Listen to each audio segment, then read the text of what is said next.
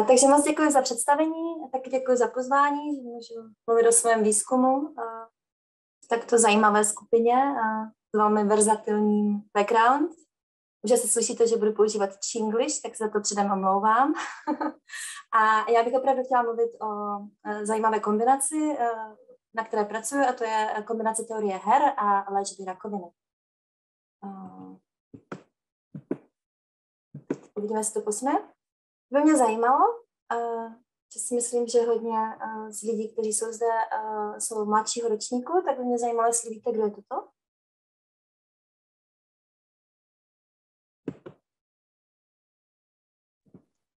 Vypadá Nixon. Ano, ano, je to Richard Nixon. A Richard Nixon um, já ve svém výzkumu hodně spolupracuji s Američany a s americkými instituty eh, při léčbě eh, rakoviny a vždycky začínáme prezentaci tímto, eh, kde Richard Nixon podepisuje tzv. National Cancer Act, to je v roce 1971, takže že jo, 50 let, před 50 lety, ve které vlastně Ona se to, ona se to jako neříká se to, neříkalo se tomu War Against Cancer přímo, ale v tomhle dokumentu vlastně uh, slíbil, že budou, bude Amerika investovat všechny prostředky, co můžou k tomu, aby vlastně uh, rakovina nebyla uh, jedním z důvodů, proč lidé umírají, nebo jeden z hlavních důvodů. No, což je před 50 lety, takže vlastně se rozhodl, že bude investovat mnohem více peněz do různých léčiv, do různých strategických způsobů, jakým rakovinu porazit. A, takže vlastně teď si můžeme všichni představit, co se v těch posledních 50 letech stalo, od rychlých vlaků eh, po možná eh, mobilní telefony a takové věci, a, ale eh, zdá se, že možná tohle se úplně nepodařilo.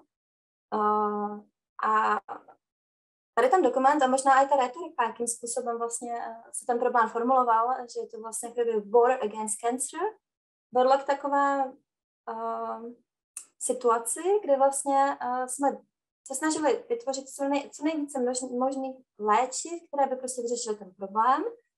Uh, ale o čem já chci mluvit je to, že možná tady ty léčiva nepoužíváme úplně taktickým způsobem a jakým způsobem nám teorie her může pomoci. Uh, a já se zabývám ve svém výzkumu hlavně takzvanými metastatickými rakovinami, což jsou rakoviny, které už nejsou uh, v, té, v té původní části té těla, kde začaly, ale rozšířily se do jiných částí těla.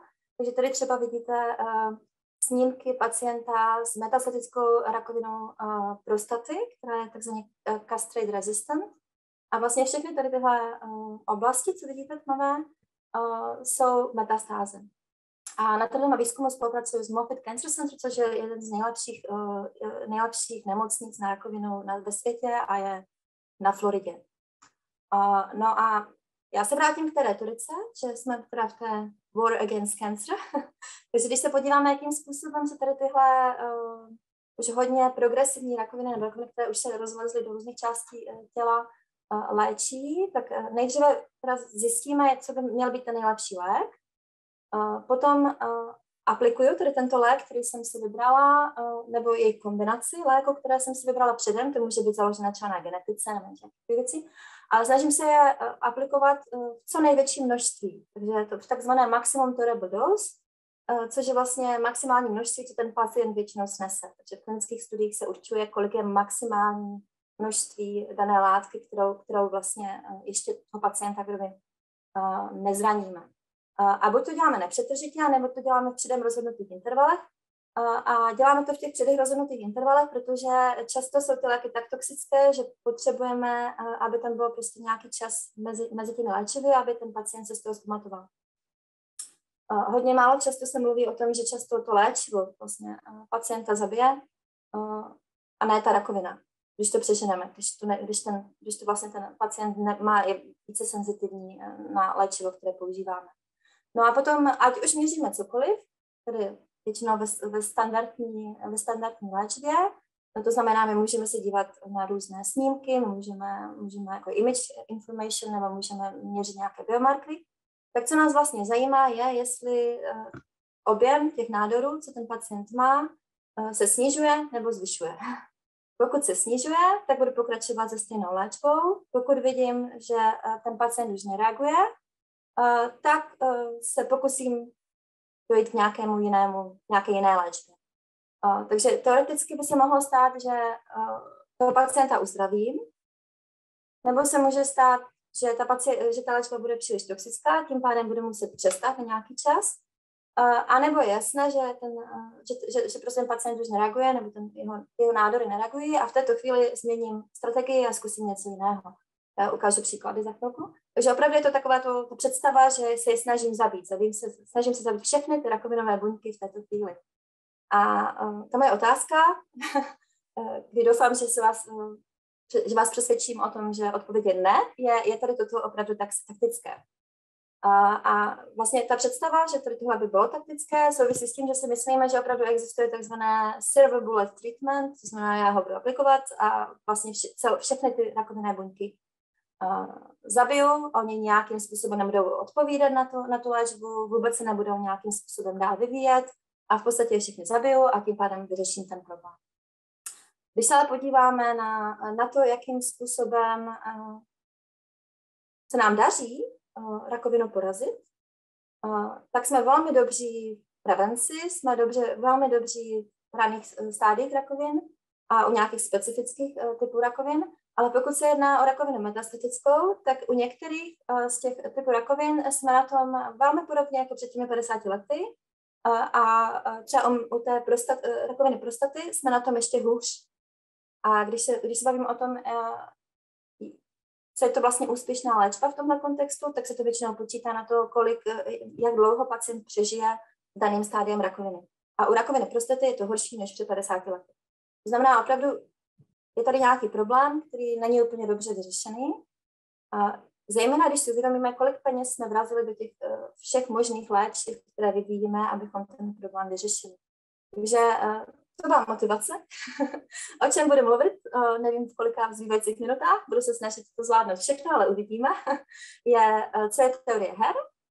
Nebudu vás nutit hrát hry, ale vám je předvedu trošku.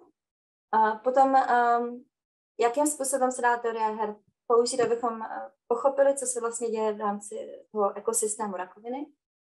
Jakým způsobem můžeme použít teorii her, aby jsme si uvědomili, co možná je taktické, co není taktické u léčby um, co to znamená vyhrát a jestli není vlastně lepší neprohrát. a potom chci ukázat možná příklad některých uh, klinických testů s takzvanou evoluční terapii, ve které se uh, snažíme neprohrát v této hře. Takže když, první otázka, co je hra, když se zeptám někoho, kdo nemá uh, žádný background v teorii her, co je hra, tak si asi představí něco takového, možná jako kámenušky papír, nebo nějaké karetní hry, možná tady piškůrky nebo uh, šachy. A z matematického pohledu, takže v rámci teorie her, disciplín teorie her, je jakákoliv situace, ve které jsou interakci takzvaní dva, takzvaní hráči, což, jsou, což, můžou být, což můžeme být my, třeba já jsem hráč, který se vás snaží o něčem přesvědčit a vy jste hráči, kteří něco poslouchají, takže tohle se tak já uh, uh, popsat jako hra. Každý ten hráč má jednu nebo více strategií, které může hrát, takže třeba tady uh, kámen, nůžky, papír by to bylo hrát kámen, nůžky nebo papír, ale této situaci moje strategie je to, co vám říkám a vaše strategie je, jakým způsobem posloucháte nebo reagujete. No a co je důležité, že výsledek toho hráče v této hře, což je třeba vyhrát nebo neprohrát, nebo co nejvíc dozvědět, ne, nezávisí jenom na tom, uh, co uh, dělá on sám, ale co dělají i ty ostatní. Uh, takže z toho pohledu uh, hra je koncept, kterým se dá popsat skoro všechno uh, každodenního, když si představíte vlastně jakákoliv situace, ve které Eh, více entit mezi sebou nějakým způsobem interaktuje, komunikuje a tak dále. Uh, no, teď samozřejmě, když řeknu zase, co je hra a někdo z vás ví, co je teorie her, tak zase představí uh, uh, tady uh, Prisoner's Dilemma, to znamená uh, uh, vězeňské dilema. To je asi nejjednodušší a nejznámější hra, která existuje, kdy dáme dva vězně, uh, jim dáme možnost, že pokud se přizná a druhý se taky přizná, tak oba dva dostanou pět let pokud ten, eh, co se, jeden se přizná a druhý se nepřizná, tak ten, co se přizná, dostane 0 roku a ten další 20 let. A to samé řekneme tomu druhému. A když ti druzí, eh, když žádný z těch eh, vězňů neví, co ten druhý vlastně udělá, tak tím, že vlastně si řeknou, aha, když tenhle se přizná, tak já dostanu, tak musím vybrat se taky přiznat, že to bych dostal pět let, protože jinak bych dostal 20.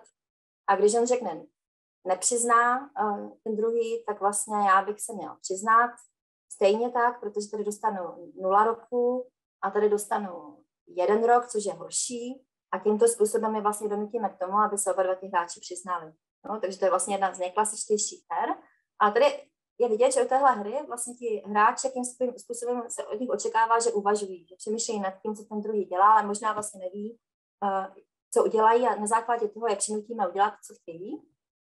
A samozřejmě uh, tohle není jediná hra, hra se může dít uh, v čase a v prostoru a může být mnohem víc komplikovanější, může mít mnohem víc hráčů a, a může to být tak komplikované, jak chceme. Ale tohle je takový jeden typ hry. Možná někteří z vás znají Jena Neše, což je člověk, který dostal Nobelovu, Nobelovu cenu za to, že nám vysvětlil, proč vlastně se oni mají přiznat a že vlastně v každé takové hře existuje takzvané naševo ekvilibrium, což je stav, ve kterém je ta hra kdyby v rovnováze, takže žádný z hráčů nemůže změnit své rozhodnutí bez toho, aby se jeho situace zhoršila. To je John Nash.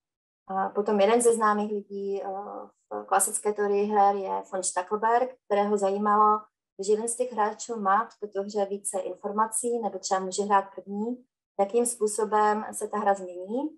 A třeba u, u tady Prisoner's Dilemma se změní úplně všechno. Kdybych já hrála první a ten druhý se, se kdybych já hrála první a rozhodla se, že se přiznám, a ten druhý hráč ví, že jsem hrála tohle, uh, tak, uh, pardon, Řekla jsem, že se tady změní že všechno. U téhle hry se nezmění všechno, ale jsou hry, u kterých se změní všechno. Třeba u téhle hry, když uh, jeden z nich bude mít více informací a bude přemýšlet nad tím, co ten druhý udělá, možná se budou moc domluvit, možná ho budou moc donutit uh, udělat něco jiného, než by hrál standardně. Uh, ale tady to možná není úplně nejlepší příklad. Uh, ale potom později se vyvinuly hry, kterým se říká evoluční hry a v těch hrách už nejde o to, jaká by měla být ta nejlepší strategie, ale spíš, jaké, jaká bych měla mít vlastnosti v prostředí, ve kterém jsou jiné organismy, které mají jiné vlastnosti a ze kterými já se snažím přežít. Uh, takže ta otázka už není, uh, jestli uh, tady tenhle brouk, jestli brouk by měl být, uh, by se měl rozhodnout se zmenšit nebo zvětšit, ale spíš ta otázka je, pokud se vyvíjím ve společnosti jiných brouků, kdy ty brouci může být větší a menší, a kdykoliv se dělíme o jídlo, pokud dva malí brouci se potkají, já dostanu pět kusů jídla a druhý dostane pět kusů jídla. Ale když se potkám s velkým broukem, tak ten mě sní skoro všechno jídlo, ale zase když se potkají dva brouci, um, a uh, tak každý z nich dostane menší kus toho jídla, protože se možná u toho poperou nebo něco takového. Tak uh, evoluční teorie her potom řeší, jaká by měla být situace, jestli je lepší pro mě být větší nebo menší v situaci, kdy třeba všichni jsou větší, a jaká je vlastně rovnovážná situace takovémhle systému, kdy vlastně uh, to množství jídla, které sní, úplně ovlivňuje, jak fit budu já a moji potomci. Takže když to, když to zhrnu, tu první část, uh, já vím, že jsem vás nenechala hrát žádné hry, ale doufám, že jsem vám uh, představila velice v rychlosti teorii her. Samozřejmě bych o tom mohla mluvit několik hodin, ale um, o tom tato přednáška není většina, doufám ještě. Takže uh, klasická teorie her se zabývá tím, uh, co, je, uh, co je vlastně dobré, co je dobrá strategie, pokud se rozhodujeme uh, mezi racionálně uvažujícími hráči. Evoluční teorie her spíš se zabývá tím, jaké má mít vlastnosti, pokud chci přežít v evolučním systému. Takže pokud silnější přežije, co jsou ty vlastnosti, které bych měla mít, abych přežila. A, a čím se zabývám já ve svém výzkumu, jsou takzvané Stackelbergovy evoluční hry, to znamená, když budu mít nějaký evoluční systém, který popisuje jako teorii her, a přidám k němu někoho, kdo je racionální, kdo uvažuje racionálně, a může se mi podařit ten systém dostat tam, kam chci, může se mi podařit třeba u rakoviny zabít ty rakovinové buňky, nebo pokud třeba se snažíme zachránit nějaký systém, podaří se mi ho zachránit, pokud pokud budu uvažovat nad tímhle strategicky. No a když se podívám teda na rakovinu z toho pohledu té evoluční hry, samozřejmě tohle je uh, úplně nejjednodušší příklad, jaký si můžu představit uh, uh, u hry, takže pokud jsme se třeba o, o různých uh, hrách typu šachy, tak uh, hráči si dokážeme představit, jsou ty jednotliví hráči. Uh, u rakoviny jako evoluční hry, uh, jako té hráče si můžeme představit rakovinové buňky. Uh, jako jejich strategie znovu oni nepřemýšlejí nad tím, jaké budou mít strategie, ale pokud uh, ta strategie bude hloupá, tak to prostě nepřežijou a už daná vlastnost se neobjeví uh, v dalších generacích. Že? Takže ty strategie jsou tedy dědičné vlastnosti nebo adaptace tomu, co vlastně dělám, tomu systému evolučnímu. A v klasické teorii her se vždycky bavíme, původně to přišlo z ekonomie, vyhraje ten, kdo má nejvíc peněz, nebo kdo získá nejvíce profitu a takhle. A, tak tady jde o to, kdo je více fit a u uh, buněk, které mají určité vlastnosti, uh, tak ty, které jsou více fit, ty se budou více rozmnožovat. To znamená, že uh, hlediska několika generací se proporčně jich dostane do toho systému mnohem víc než ostatní. Takže se jedná o to, které z těch buněk vlastně budou se rozšiřovat rychlejším způsobem než ty ostatní. Takže samozřejmě spoustu těch různých mutací, které teda kovinové buňky získají, budou hloupé, ale to znamená, že tyhle buňky už v dalších generacích nebudou. Zatímco ty, co budou jakože chytré, tak ty zůstanou uh, uh, v dalších generacích a uh, tím pádem, pokud my nějakým způsobem se třeba snažíme léčit, jo, nějakým způsobem se snažíme zabít pomocí určité terapie, tak se dá očekávat, že dříve nebo později asi se objeví nějaká mutace, která dokáže vzdorovat téhle terapii. No. My nevíme třeba kdy, ale pokud se tahle mutace objeví, tak mám problém, protože já stále pokračuju s tím léčením stejným způsobem jako předtím. Já třeba ještě nevidím, že se mi mění kompozice těch uh, té rakoviny, uh, různých, různých typů buněk, ale v téhle chvíli už vlastně prohrávám hru a ani to nevím. No? A samozřejmě ty adaptace, o kterých tady mluvím, těch může být strašně moc, protože tohle jsou hallmarks of cancer a v originálním článku jich myslím bylo 10, teď už je jich myslím mnohem víc, které se považují za jako klasické vlastnosti rakoviny, jakými se přizpůsobí něčemu, čemu se děláme. A já jsem jenom chtěla ukázat, že vlastně si často lidé si představují rakovinu jako takovou nějakou uh, masu stejných buněk. Uh, a tady máme příklad třeba rakoviny uh, vaječníků, kde vidíme, že takhle typicky vypadají buňky, které, jsou, které zůstávají vevnitř, uvnitř tumoru. A, a tady takhle vypadají buňky, které jsou jakože více na kraji těch, eh, těch tumorů, protože uh, jsou více invazivní. No? Takže vidíme, že vlastně vidíme i na tvaru těch buněk, že se nějakým způsobem přizpůsobili tomu, co se jim děje. Uh, teď samozřejmě otázka je, když řekneme rakovina evoluční hra, uh, to je pěkné, to je vlastně, jo, pomůže nám to nějakým způsobem k tomu ten problém vyřešit, čo? to je možná nejdůležitější. Já vidím, že v chatu se něco děje. Dobrá, to je otázka na později, myslím. je to tak, je to krásný příklad. A teď já možná přeskočím, že jsem hrozně pomalá, jsem si teď všimla, Uh, já vás nebudu moc jako tady týrat vzorci, ale chtěla jsem vám ukázat úplně nejjednodušší eh, způsob, jak se na to člověk může podívat. Že když budeme mít jedno, eh, jedno prostě nějaké léčivo, kdy víme, že prostě budou takzvané senzitivní buňky, které označím S, a budou rezistentní buňky, které označím jako R, a na ty senzitivní buňky to léčivo bude fungovat lépe a na ty rezistentní to bude fungovat hůř. Um, tak vlastně, uh, i když zvolíme úplně nejjednodušší model, který prostě parametrizujeme nějakými velmi jednoduchými daty, i třeba z Petry, když, tak dokážeme pomocí toho modelu předpovědět, že pokud budeme používat co největší množství léčiva, a začali jsme s nějakýma buňkama, těma světle zelenýma nebo skoro bílýma, které byly senzitivní, a uh, jednou tmavou buňkou, která bude rezistentní, tak ve chvíli, kdy budu se snažit používat stejné množství léčiva co nejvíc celou dobu, tak dokážu předpovědět, že to bude dříve či později tak, že celý ten systém se změní na úplně rezistentní. Že? A uh, taky dokážu s velice jednoduchými modely uh, předpovědět, že kdybych místo toho se nesnažila zabít všechny tady tyhle světle zelené buňky, a místo toho zvolila jiný cíl a rozhodla se, že chci, aby ten uh, systém zůstal v rovnováze. To znamená, nepodaří se mi je všechny zabít, ale budu se snažit, uh, aby, se ten, uh, aby, se, aby se množství těch buněk nezvýšilo, tak možná dojdu k úplně jiným strategiím. Dojdu ke strategiím, kdy třeba budu používat méně, takzvanou adaptivní množství terapie. Budu tam mít více pauz mezi, mezi různými, mezi, že budu třeba léčit chvíli, potom potom přijde nějaká pauza, ale není to tak, že ta pauza je předem určená, ale záleží to na tom, jak ten vlastně systém vypadá. A dojdu úplně jiným způsobem léčení, než, než vlastně jsou v této chvíli používané. Takže nebudu to dělat tak, že si vyberu co nejlepší léčbu, kterou použiju v co největším množství, ale nejspíš budu používat té léčby mnohem méně a budu ještě zvyšovat prostě ty pauzy mezi různými léčby. Potom jsou další způsoby modelů. U některých rakovin to není tak, že můžeme říct, že jsou tam úplně senzitivní a úplně rezistentní buňky. Je to spíš tak, že když uh, budu používat maximum turbo dose znovu, uh, tak uh, ty buňky, každá z nich se stane více a více rezistentní. Uh, takže tohle je jiný způsob modelu, ale já nechci vás tady týrat matematikou moc, možná to přijde v otázkách, uh, jestli někdo na to bude mít otázku.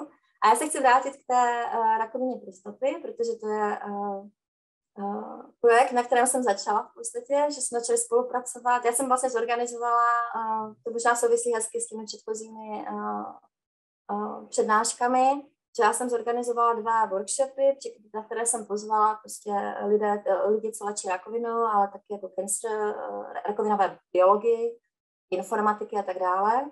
A snažila jsem se pochopit, jakým způsobem by nám mohla prostě teorie her pomoct při léčbě rakoviny. Nejdříve nás zajímalo, jako jakým způsobem, jaké jsou vlastně uh, spojení mezi uh, teorií her a evoluční biologií jako takovou, protože uh, to není tak, že jenom v rakovině máme problém s tím, že když vlastně se snažím uh, uh, něco s tím systémem udělat, tak ten systém se přizpůsobí a díky tomu, že se přizpůsobí, tak to je těžší a těžší možná ho nějakým způsobem ovlivnit. Že?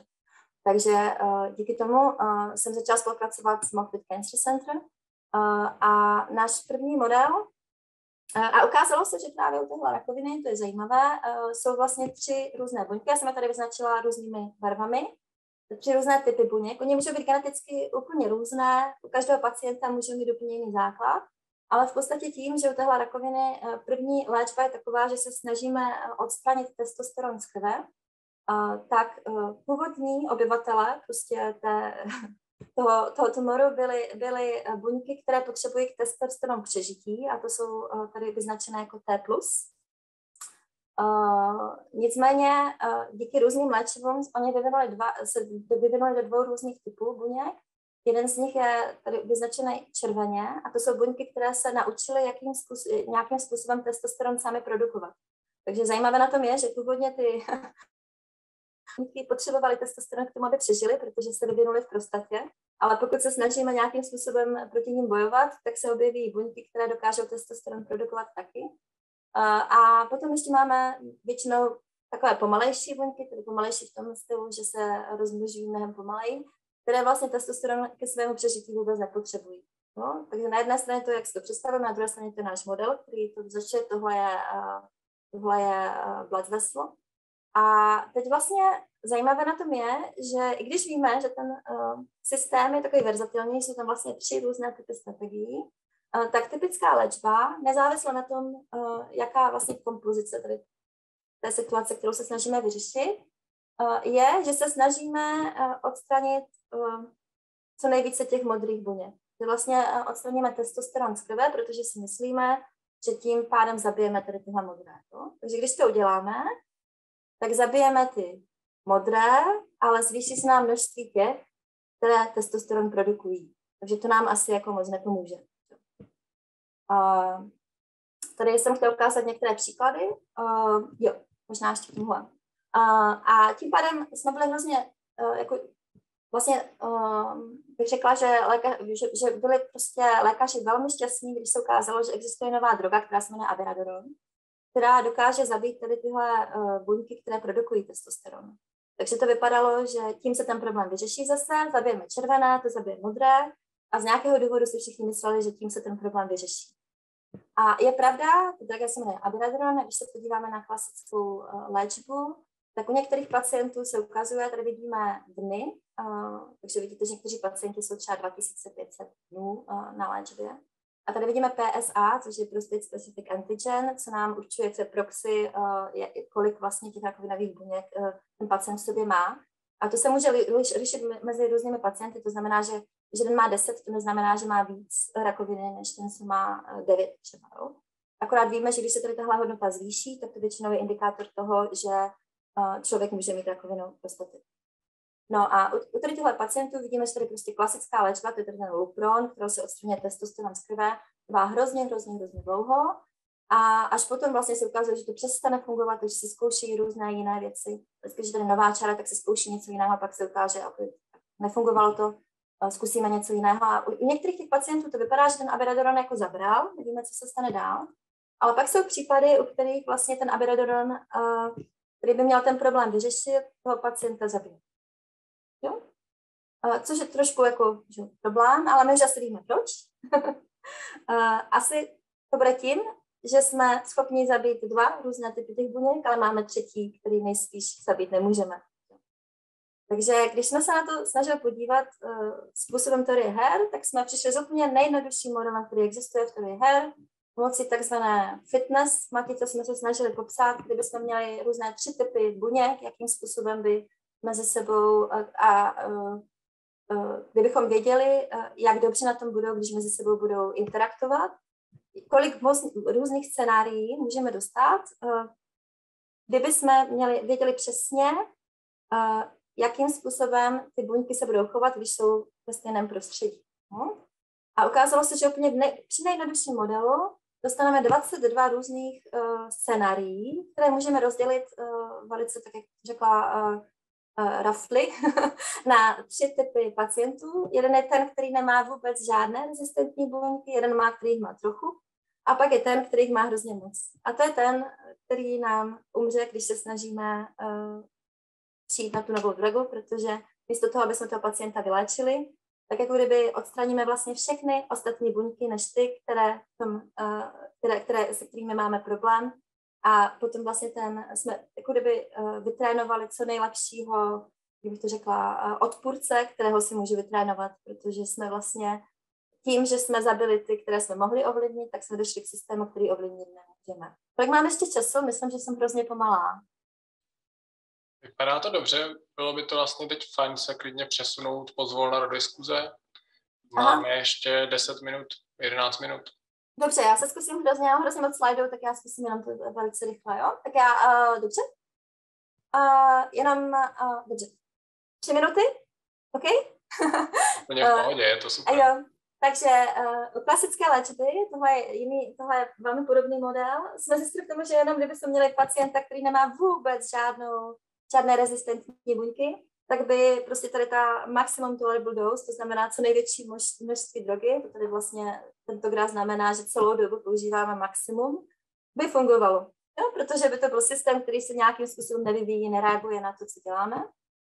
U, všech, u obou ostatních způsobů by vlastně se stalo to, že ty rezistentní buňky vlastně celý ten celý ten systém jako přeparou a došli jsme k tomu, že vlastně máme systém, který nemůžeme nějakým způsobem ovlivnit. Takže můžeme zkusit tam chemo nebo radioterapii doufat, že to bude fungovat. No? Zajímavé je, že když se podíváme na stejný systém bez léčby, tak sice by ten pacient umřel, Uh, ale uh, neumřel by kvůli tomu, že tam jsou ty rezistentní, tedy ty červené buňky, ale kvůli tomu, že by vlastně uh, jich bylo moc prostě by došlo k množství, množství těch buněk, které by nás zabily. No, takže to, to, to nás vedlo k té myšlence, že možná je víc strategické uh, nepoužívat celou dobu stejné, uh, stejné množství léčiva, ale možná přijít s nějakými více dynamickými protokoly, kdy vlastně se snažíme ten systém udržet pod kontrolou, s tím, že jsme to jako kdyby vzdali, že toho pacienta vyléčíme, protože vidíme, jak ten pacient vypadá a už on má tolik metastází, že vlastně není šance, že by se nám podařilo ten systém, tady tuhle hru vyhrát. No.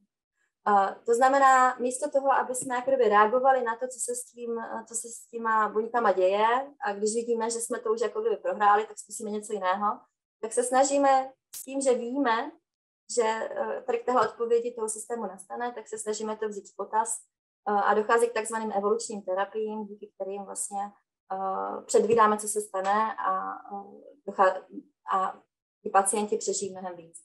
Já ukážu nám výsledky jednoho klinického testu a pak fakt skončím, jo? A? Takže u té rakoviny prostaty, tady ten příklad, je, že vlastně nezávisle na tom, jaké je, jaký je iniciální stav toho pacienta, tak vlastně budu aplikovat tady tenhle lék, který by měl odstranit ty, co produkují testosteron do té doby, než se uh, sníží to iniciální téza, dejme tomu na polovinu, a pak přestanu léčit a obnovím tu léčbu jenom, když se ten systém vrátí. Uh, takže tohle je standardní systém, kdy vlastně používáme tady klasickou léčbu, kterou znamená Bradron celou dobu. A tady se vlastně snažíme cyklovat ty pacienty na uh, různých, uh, na tady tomhle abiradoronu a když vlastně ten, kdyby, když, když ten systém reaguje, tak je léčím a když zjistím, že, že jsme se dostali zhruba do půlky, přestanu léčit a tímto způsobem to kontroluju, mám pod kontrolou. A když se podívám na ty pacienty, uh, úplně první uh, skupina pacientů byla velmi malá, uh, ale tady vidíte, že vlastně uh, tohle je standardní léčba, kde vlastně dostávají tu, dro- tu drogu celou dobu, uh, léčivo, pardon. A tady vidíme uh, adaptivní, uh, že vlastně ta červená je, když dostávají léčivo a ta černá je, když ho nedostávají. A každý z těch pacientů, když ten systém je úplně stejný pro každého, dostává úplně jiné cykly léčiva, uh, kdy vlastně to léčivo mají a kdy to léčivo nemají. No. A vlastně skončím tady s tím grafem. A vlastně po, tohle bylo velmi jednoduché, ale ukázalo se, že vlastně na tom adaptivním protokolu u těch pacientů dokážeme zdvojnásobit nebo zdvojnásobit jejich čas, než vlastně dojde k progresi uh, léčiva. To znamená, že uh, se nám podařilo s takto jednoduchým systémem dojít k tomu, že ty pacienti žijou dvakrát nebo třikrát déle. Dobře, já skončím tady. Je to, se peru s češtinou, já se mluvím. tak, tak já moc děkuji za, za úplně fantastickou přednášku. Já si myslím, že máme takové ticho právě, protože všichni vlastně jenom s napětím sledují a se zájmem. Uh, ale samozřejmě všechny vyzývám, aby teď zašli posílat otázky. Možná, uh, než, se, než se osmělí, tak já bych se zeptal, jaké jsou vlastně limity proměných co se týče vlastně toho, toho modelu, kdy vlastně ta teorie her ještě jako pomůže, když uh, si představíme nějakou opravdu komplexní situaci, kde nám třeba úplně není jasné, právě co jsou ty klíčové parametry, které hlídat. Tak, uh, tak no, vlastně, jaká je ta kapacita, kdy už nám to ne, kdy už vlastně No tady ta situace byla velmi komplikovaná, protože jediné měření, co jsme měli, bylo tady to PSA, s tím, že jsme vlastně nevěděli, jak a jako tam je spoustu metastází, každá z nich může mít jinou kompozici a my to nevíme, že. Uh, takže vlastně díky tomu uh, to člověk musí jako odhadovat z toho, jak ty pacienti reagují v průběhu. Že. Uh, takže čím více dobrých měření máme, tím lépe to dokážeme odhadnout. Jo? Já teď třeba pracuji na non-small cell lung cancer, což je jako větší problém, kde vlastně se snažíme nejdříve přesvědčit ty doktory, že pomocí toho, toho uh, teorie her dokážeme předpovědět, co se těm jejich pacientům děje teď. Že použijeme třeba půlku dat, které oni mají, na to, aby jsme jako ten model vytrénovali a na půlce jim ukážeme, že to předpovídáme dobře. A když teda je přesvědčíme k tomu, že to, co modelujeme, je opravdu to, co oni vidí, tak potom je můžeme přesvědčit k tomu, že by bylo dobré zkusit něco jiného, pokud cíl léčby není teda toho pacienta zabít co nejdřív. Uh, teda to přeháním, že jo, ale pokud třeba ten cíl léčby je jiný, tak. Jasně, to je prostě posun ke, k damage control od takové té total war. A jo, a ještě uh, jsou další možnosti. Jo, že třeba my víme, že oni jako na začátku vždycky uh, zareagují, jo, ty pacienti, a teď zkoušíme jako překvapit tu rakovinu trochu jinak. Že tady v téhle chvíli, kdy jako reaguje, tak by bylo dobré zkusit něco úplně šíleného, třeba imunoterapii, jo, nebo a něco jako když se, že jo, spoustu různých druhů, to se byla nějaká přednáška, živočišných zemřeli proto, že se jim stalo něco náhodného, že se dostali pod nějakou kritickou úroveň a potom přišlo zemětřesení, že jo. A tady všichni ti lékaři vidí, že ten pacient bude nejdřív reagovat, ale pak reagovat přestane. Jo. Tak proč, když vidíme, že reaguje, proč neskusíme něco jiného a proč pořád jako pokračujeme v tom stejném protokolu až do té chvíle, než se to jako všimnu, že už to nefunguje. Jo? Pardon. Mhm. Super, díky moc. Mám tady otázku od Olgy Lebové. Já bych se chtěla zeptat, jak eh, na tenhle ten druh výzkumu eh, reagují klinici, doktoři, lékaři. Ah. Nebo jestli ještě, ještě, ještě to rozšířím, jak na to, eh, je, je někdo, kdo na to reaguje nějak negativně nebo s nedůvěrou na tohle výzkum? Uh, jo, takže uh, to mě vede k tomu, jak jsem začala pracovat jako první věc na té rakovině prostaty, je proto, že to byl vlastně jeden jediný lékař, který jako reagoval a říkal, že možná můžeme mít pravdu. A v podstatě jako já mám to štěstí, že uh, Moffitt má Integrated Mathematical Oncology uh, Department, se kterým vlastně kde jako pracují lidi, co dělají obojí, jako že jsou třeba biologové a dělají i jako, jako rakovinu nebo matematici, takže, takže jako mají tu tendenci poslouchat uh, to, co jim říkám, třeba. Uh, ale jako stalo se i mně, i mým kolegům, že když došli nějakou klasickou onkologickou konferenci, tak v průběhu té, toho prvního slajdu, jak říkám, že ta standardní léčba není efektivní, takže se postaví nějaký známý člověk a řekne něco ve stylu, tak kdo vlastně jste, co mi tady říkáte, že za těch uh, eh, 30 let, co já jsem jako praktik a jsem zachránil tolik a tolik životů, že to jako dělám špatně. No. A, takže mně se podařilo, mně přišlo, že velký úspěch, že se nám podařilo právě dostat uh, článek do Yama Oncology, což je jako uh, velmi tradiční žurnál, já nevím, mám tenhle. A tam vlastně jako se nás ptali ti referenti, proč uh, jsme tak strašně opatrní, proč jim neříkáme, jako že děláme blbě. My jsme se strašně báli, že nějaký klinický uh, onkolog uh, jako nám to zruší, když, to, když nebudeme opatrní. Dlouhá odpověď, krátká otázka, pardon. Díky moc. Mám tady ještě další. Jak vlastně by tohle fungovalo, když si, když si vezmeme cílenou terapii a nebo terapii, která by teda plošně že jo, mířila na všechny třeba eh, dělící se buňky tak jak je to, že u, já nevím, Endoxotaxu, no tak, jasně. Tak. A uh, u obojí by to fungovalo. Zajímavé, tady jsme se bavili jenom o jedné, jednom léčbu na jedno, může, já říkám pořád já jsem jedno, uh, jedno léčbu na jedno, ale vlastně u těho, třeba co teď u toho, u té non-small cell lung cancer řešíme, je jakým způsobem strategicky aplikovat uh, tyrosine kinase inhibitors a radioterapii, jako ve kterou chvíli co nebo třeba často se používá jako zároveň radioterapie a chemoterapie, třeba u těch eh, jako pozdějších stádií. A teď otázka, jestli jako by nebylo lepší rozvolnit to pro některé pacienty. Uh-huh. Takže vlastně ten princip je úplně stejný, akorát, že u radioterapie by to byla radiosensitivita versus radioresistance, zatímco tady tyhle hormonálních terapií, to je vlastně jednodušší, protože tam jako víme, rozumíme těm buňkám mnohem víc, třeba u té rakoviny prostaty, těch lidí je tolik, že, že teda mě rozumím mnohem víc, než třeba um, některým, jako, jako než třeba glioblastoma, to je mnohem horší. Mhm. Tak máme tady ještě další otázku v chatu. Uh, Alena Uví, Uvízl se ptá, uh, jestli by teorie her a modelování obecně nemělo být vlastně inherentní součástí vývoje uh, těch protinárodových národových léčiv už, už od počátku. Já si myslím, co by tam mělo být od počátku, že se domluvíme, jaký je cíl léčby hlavně. že uh, zajímavé na tom je, na té lékařské praxi, a doufám, že nikoho neurazím, tedy z posluchačů, uh, že mě zaujalo to, že vlastně oni jak vždycky publikují jenom to, co jsou jako úspěchy. Jo? Že jako třeba, uh, já jsem teď součástí různých těch tumor, tumor boards, jo?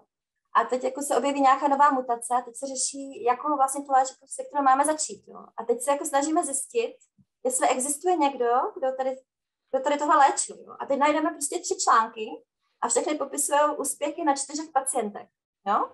Což může znamenat, že třeba tisíc pacientů, na kterých to nefungovalo, ale to nikdo publikovat nebude. Čo? Zatímco uh, u toho klientského, uh, klientského testu, co jsem vám ukazovala, tak jsme se nejvíc naučili z toho pacienta, od toho pacient, u, z toho příkladu toho pacienta, u kterého ta adaptivní léčba nefungovala. Protože tam jsme zjistili, že jsme ten model měli udělat trochu jinak. No? Uh, ale, takže jako jo, teorie her by, to by bylo ideální, ale myslím si, že by bylo fajn jako takový předstupeň, kdyby jsme se domluvili, co je jako naším cílem. Jo, že jako jestli, když máme prostě pacienta, který na těch obrázcích svítí jako vánoční stromeček, jestli opravdu je naším cílem se pokusit ho vyléčit, protože jako ta šance je třeba 1%. A když se tam toho pacienta, chtěl by se jako nechat vyléčit, když řekneme, jako, že má šanci 1%, z 99% ho pravděpodobně tady tohle léčbu zabiju. No, ale jako bylo by to fajn, to by se mi líbilo, samozřejmě. No kdyby teorie her se vyučovala. Hlavně, kdyby se vyučovala evoluční teorie v lékařských vědách, nevím, jestli jako začínají tak nějak blbě tou genetikou, mi přišlo.